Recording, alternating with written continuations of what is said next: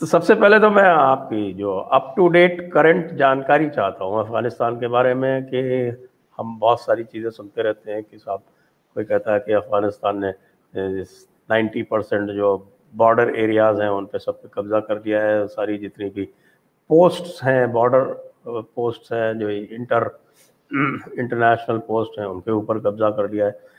फिर उसके बाद फिर जो है वो उनके ऊपर ड्रोन से वापस हमला भी हो जाता है। और तालिबान जो लगातार दोहा एग्रीमेंट को वायलेट कर रहा है, वो चिल्लाने लगता है कि साहब दोहा एग्रीमेंट का वायलेशन हो गया। तो पहले हमें ब्रीफ करें एग्जैक्ट सिचुएशन क्या है।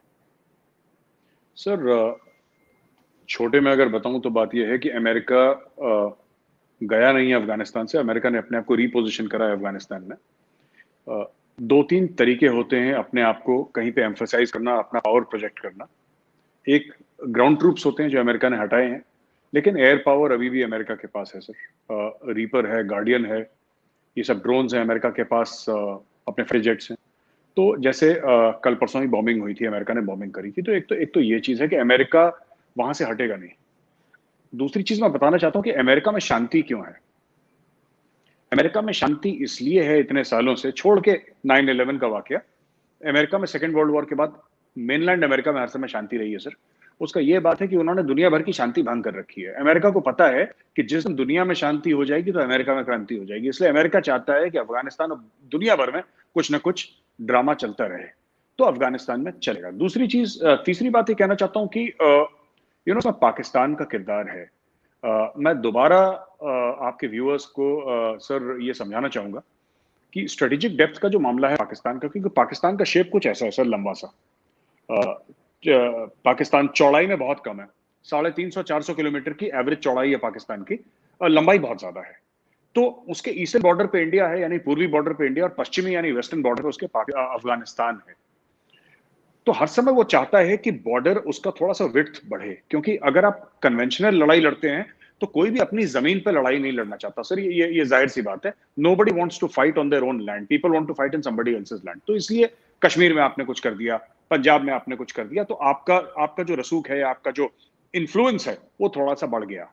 कश्मीर में, पंजाब में टेररिज्म फैला के आपने तालिबान शुरू कर दिया आपका अफ़गानिस्तान में। तो आपने पाकिस्तान को एक किस्म से मतलब not geographically but influence wise आपने थोड़ा सा चौड़ा कर दिया। So that was the Pakistani concept of strategic depth अब क्या हुआ है कि नाइन uh, इलेवन से पहले 1989 और 1999 2000 तक।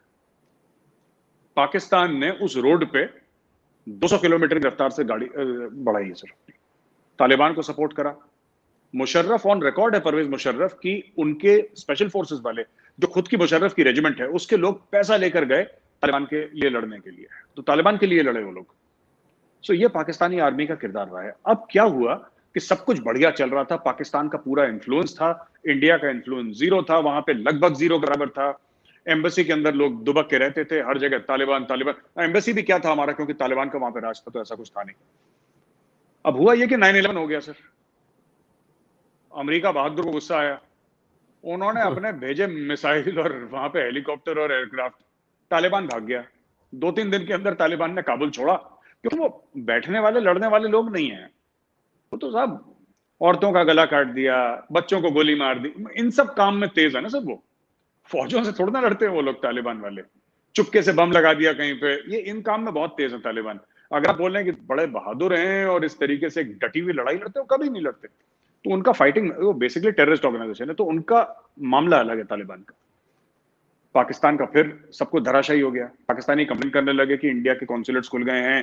और रॉ हमारी एजेंसीज पाकिस्तान के अंदर कुछ कुछ कर रही हैं, जो भी एक्सवाइजेड वो लोग आपस में साजिश की जो थ्योरी कॉन्स्परेसी थ्योरी वो लोग मतलब चूरन की तरह बांटते रहते हैं सर। अब हुआ ये कि अब फिर यहाँ पे जो बाइडेन ने बोला कि हटाओ वहाँ से। हट गए। ये फिर खुश हो गए सर। पाकिस्तान वाले के वो पुराने दिन वापस आ गए 1989 के बाद। अब फिर तालिबान चढ़ जाएगा। अब तालिबान ने चढ़ने की कोशिश करी, मार पड़ी तालिबान को। तालिबान ने झूठ बोल दिया 85 90 परसेंट अफ़गानिस्तान हमने कैप्चर कर लिया। अरे भाई, अगर तुमने कैप्चर कर लिया तो अफ़गानिस्तान का प्रेसिडेंट काबुल में क्यों तो भाग जाता अभी तक। क्योंकि सबको पता है नजीबुल्ला के साथ इन लोगों ने क्या करा था। इन्होंने फांसी लगा दी थी नजीबुल्ला को। तो कहने की बात यह है कि वहाँ पे अशरफ घनी क्यों बैठा हुआ है? वहाँ पे अब्दुल्ला अब्दुल्ला क्यों बैठा हुआ है? वहाँ पे नसरुल्ला जो अमरुल्ला साले जो उनका वाइस प्रेसिडेंट है वो क्यों बैठा है काबुल पे? वो इसीलिए बैठे हैं क्योंकि उनको पता है कि ताले, तालिबान कितने सर? पिछहत्तर हज़ार टोटल। सत्तर से लेकर पिछहत्तर हज़ार तालिबान है। अफगान नेशनल फोर्सेस करीब साढ़े तीन लाख की हैं। तो किसी का भी यह मानना है कि तालिबान पिछहत्तर हज़ार लोगों से पूरे अफ़गानिस्तान जैसे बड़े मुल्क पे कब्जा कर लेगा, ठीक है कुछ कुछ बॉर्डर टाउन एक दो छोटी मोटी जगह ये बैठ गया यहाँ पे, वो सब ठीक है, लेकिन उससे ज़्यादा नहीं। और आखिरी बात जो मैं बताना चाहूँगा सर, कि अफ़गानिस्तान एक अल जजीरा की रिपोर्ट आई थी, मैं आपको भेज भी दूँगा वो रिपोर्ट।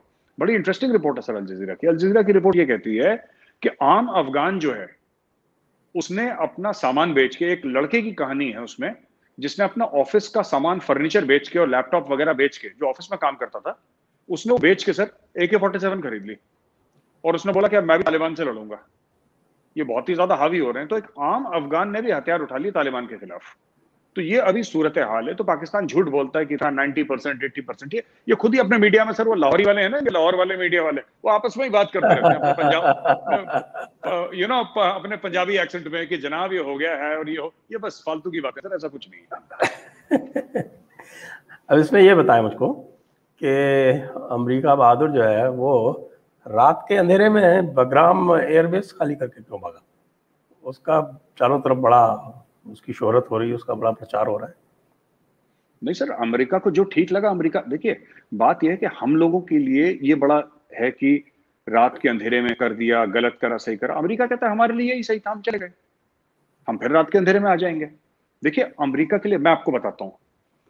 आपने कभी एक बात नोट करी होगी आ, हमारी आम ज़िंदगी में मैं जंग की बात नहीं कर रहा आम ज़िंदगी में बात करता हूँ। या तो जो बहुत गरीब होता है बहुत गरीब उसमें मोरालिटी नहीं होती, या तो बहुत अमीर होता है, उसमें मोरालिटी नहीं होती। Morality is a very middle class subjective term ठीक है? अमीर को कोई फ़र्क नहीं पड़ता, क्योंकि उसके पास इतना पैसा है, और गरीब को बेचारे को क्या फ़र्क पड़ता है, वो रोटी के लिए मोहताज है। तो अमेरिका जो है, वो बहुत अमीर है, बहुत बड़ी पावर है वर्ल्ड की टॉप सुपर पावर है। अमेरिका को कोई फ़र्क नहीं पड़ता, हम, आप, पाकिस्तान, उसके बारे में क्या सोचते हैं। हम लोग कहते हैं, बगराम एयरबेस से भाग गया, कल अमेरिका दोबारा आ जाएगा कि जी आज हमारा मन था हम आ गए बोलो। फिर तालिबान फिर भाग जाएगा। अमेरिका की, मैं अगर आसान शब्दों में कहूँ, सर टोटल गुंडागर्दी है इनकी। टोटल गुंडागर्दी। इन्होंने सद्दाम हुसैन को मार दिया। उसका बेचारे का नाइन इलेवन से कोई लेना देना नहीं, इन्होंने फांसी लगा दी अमेरिका ने, सद्दाम हुसैन को। आप बताइए, मोहम्मद गद्दाफी, लीबिया का जो रूलर था, उसका नाइन इलेवन से क्या लेना देना उसको मार डाला उसको। कहानी खत्म। क्यों मारा उसको, आपको पता है? और मैंने अमेरिकन से बात करी, मैंने डिप्लोमेट से बात करी। उन्होंने साफ़ तौर नहीं बोला ये, पर मुझे ऐसा लगा, ये ये मेरा खुद का एनालिसिस है, उन्होंने बिल्कुल ऐसी बात नहीं बोली। मुझे ऐसा लगा कि वो कहना चाह रहे हैं कि मार सकते थे, इसलिए हमने मार दिया। We could kill Saddam Hussein so we killed him और आपने क्या कर लिया अगर हमने सद्दाम हुसैन को मार लिया? हम दोबारा मार देंगे वहाँ पे जाके। That is the truth of the world sir America भागा, कल अमेरिका दोबारा आ जाएगा। यू पॉइंट राइट एक्चुअली अभी तो आपने कहा इसलिए मुझको ध्यान आ गया। एक किसी ने फ्लो चार्ट बनाया है। हाउ अमेरिका बिहेव्स इंटरनेशनली और उनका फ्लो चार्ट जो है वो बिल्कुल बड़ा सिंपल है। अगर आपके पास ऑयल है और न्यूक्लियर पावर नहीं है तो या तो आप क्लाइंट स्टेट बन के रहिए, या फिर आपको देर विल बी ए कू और you will be there will be a regime change और रिजीम चेंज का खेल खेलते रहते हैं। और अगर आपके पास न्यूक्लियर पावर है तो फिर आपसे वो थोड़ा संभल के रहेंगे। इसीलिए बार बार कहते हैं ना कि साहब ये पाकिस्तान को ऐसा क्यों नहीं करते पाकिस्तान को ऐसा क्यों नहीं करते? तो उनकी उनका जो फ्लो चार्ट है उसमें पाकिस्तान न्यूक्लियर पावर दिखता है उनको तो इसलिए पाकिस्तान से थोड़ा सा संभाल के रहते हैं बाकी।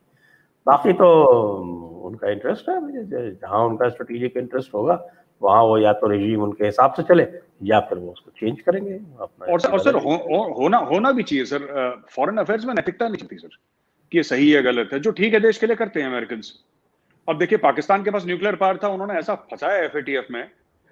आईएमएफ के लोन्स में ऐसा फंसाया है कि अब दो चीज़ें थी पाकिस्तान की, जो पाकिस्तान को बड़ा घमंड था। एक अपनी जियो स्ट्रेटेजिक लोकेशन और एक अपना न्यूक्लियर वेपन और दोनों इनके गले की हड्डी बन गए आज की तारीख में। अब ये मटा क्या ना करता है, इनको समझ में नहीं आ रहा क्या करें। पाकिस्तान की जो स्ट्रेटेजिक लोकेशन की वजह से ही तो हेरोइन और कलिश्नकोव का कल्चर हुआ है पाकिस्तान में sir It is because of geostrategic location. Because of nuclear weapons, Pakistan it has become from a client state to a pariah state. उनका हालत खराब है पाकिस्तान की आज की तारीख में सर। अमेरिका प्रेशर डालेगा। न्यूक्लियर वेपन्स ठीक है। डायरेक्ट इंटरवेंशन करे ना करे वो बात की बात है। लेकिन अमेरिका ने ऐसी बाहें मरोड़ी है पाकिस्तान की कि सर वहाँ पे सड़क के आम आदमी की चीख निकल गई है। चीख निकल गई उस आदमी की। और अमेरिका करता रहेगा हाथ मरोड़ता रहेगा जब तक वो हाथ हाथ में ना आ जाए उसके। ये होगा भी। वो तो होगा दिख रहा है ना। तो स्टेट बैंक ऑफ़ पाकिस्तान को आई आईएमएफ ने एक तरह से टेक ओवर कर लिया। जब आपका रिज़र्व बैंक जो है वही आपके कब्जे में नहीं रहा तो फिर आपका इसीलिए चाइना जो है वो अब खिसकता जा रहा है कि भाई यहाँ तो America State Bank of Pakistan भी जब आईएमएफ के कब्जे में चला गया तो हमारा इन्वेस्टमेंट कितना सेफ़ है? वैसे भी वो कमर्शियल लोन्स ही देते हैं। वो तो इंटरनेशनल लोन्स देते नहीं वो कमर्शियल लोन्स ही देते हैं। तो वो तो उनकी स्थिति उस प्रकार से है। अब थोड़ा सा इसी में और जो स्थिति है उसके बारे में कि बगराम एयरबेस तो छोड़ दिया। अमेरिका ने। अभी कौन से और एयरबेस हैं उनके पास जिनको वो ऑपरेट कर रहा है? क्योंकि बीच में ये भी सुना था कि उन्होंने पाकिस्तान से एयरबेसेस मांगे। सर पाकिस्तान का तो कोई कह ही नहीं सकता, क्योंकि इमरान खान ने बोल दिया एब्सोल्युटली नॉट अच्छा उस बेचारे को कोई अथॉरिटी नहीं है हाँ या ना कहने की। वो सिर्फ़ मीडिया इंटरेक्शन के लिए उन्होंने एक सॉफ्टवेयर जैसी बना रखी है सर उन्होंने जैसे कि आजकल जूम में या स्काइप में आप बैकग्राउंड चेंज कर लेते हैं ना अपना पेड़ पत्ते लगा लेते हैं। हाँ, हाँ। वो इमरान खान वो फूल फूल पत्ता टाइप का उसको डेकोरेटिव पर्पस का सर वो उसका कोई काम वाम है नहीं वैसे। आपने बात नोट करी? बाजवा साहब ने अभी तक नहीं बोला एब्सोल्युटली नॉट बाजवा ने कुछ नहीं बोला इसके बारे में? बाजवा चुप है पाकिस्तानी फौज चुप है। ये इमरान खान शेख रशीद यही लोग अपने जो उनके सर्कस के जितने भी ये शेर भालू हैं यही सब अपने स्टेटमेंट देते रहते हैं सर यही सब है। पर जो असली बंदा है पाकिस्तान का, कमर जावेद वाजा चीफ ऑफ़ आर्मी स्टाफ उसने इसके ऊपर कोई बयान नहीं दिया। चुपचाप बैठा है वो। चुपचाप बैठा है, और हो ना हो, क्योंकि 10 साल के बाद से पिछली बार भी जब पाकिस्तान ने एयरबेसिस दिए थे, अफ़गानिस्तान में सॉरी बलोचिस्तान में, माफ़ कीजिएगा, पाकिस्तानियों को पता थोड़ा ना था कि हमारे ऊपर ड्रोन हमले हो रहे हैं कि यहीं से ड्रोन टेक टेक ऑफ़ को बाद में पता लगा ये बगल वाला बेस है, रात को जो उड़ता है ड्रोन वो यहीं से उड़ता है बगल से। तो इनको कई साल तक पता नहीं लगा, सर। तो अभी भी हो सकता है कि पाकिस्तान के किसी कोने से अमेरिकन फाइटर्स टेक ऑफ़ कर रहे हो। ये अपने, देखिए, ये इनके पास क्या है, सर, देने के लिए? आप बताइए ना, मैं आपसे पूछता हूँ, सर। इनके पास ना सॉफ्टवेयर है, ना इनके पास हार्डवेयर है, ना इनके पास वैक्सीन है, ना इनके पास पैसा है, इनके पास कुछ नहीं, इनके पास सिर्फ़ ज़मीन है। ज़मीन के अलावा ये चाइना को क्या दे रहे हैं? चाइना पाकिस्तान इकोनॉमिक कॉरिडोर में चाइना इतने बिलियन डॉलर लगा रहा है पाकिस्तान ने चाइना को क्या चाइना ने पैसे लगा दिए चाइना ने इंफ्रास्ट्रक्चर दिया पाकिस्तान ने उसको क्या दिया? पाकिस्तान के पास है ही नहीं कुछ देने के लिए। पाकिस्तान सिर्फ़ अपनी ज़मीन दे सकता है। It has no other product sir Pakistan कुछ तो मॉर्गेज कर दिया आपके मोटरवेज मॉर्गेज कर दिए और सर पाकिस्तान एयरपोर्ट्स मॉर्गेज कर दिए। सर वो छोड़ दीजिए। पाकिस्तान इंटरनेशनल एयरलाइंस को गिरवी रख दिया पीआईए को। पीआईए के सारे जहाज़, सारी बिल्डिंग सारे असासे गिरवी रख दिए। कह रहा, लोन दे दो अब। बच्चों के पार्क खेलने के पार्क एफ़ नाइन पार्क है इस्लामाबाद में। एफ़ नाइन पार्क गिरवी रख दिया सर इन्होंने, पाकिस्तान ने। फिर कहता है, इंडिया साजिश कर रहा है। ऐसी बातें करते हैं अजीबो गरीब। तो कहने की बात यह sir coming back to the same thing कि नोबडी नोज़ मुझे नहीं पता आज की तारीख में कि पाकिस्तान ने एयरबेसेस दिए कि नहीं दिए हो। सकता है दिए भी होंगे इन लोगों ने। पूरा हो सकता है दिए इमरान खान को पता भी नहीं होगा। जब कारगिल में अटैक कर सकते हैं सर बिना नवाज़ शरीफ को बताए। तो इमरान खान को बिना बताए बेच क्यों नहीं दे सकते I, that that is entirely possible. I agree with you completely.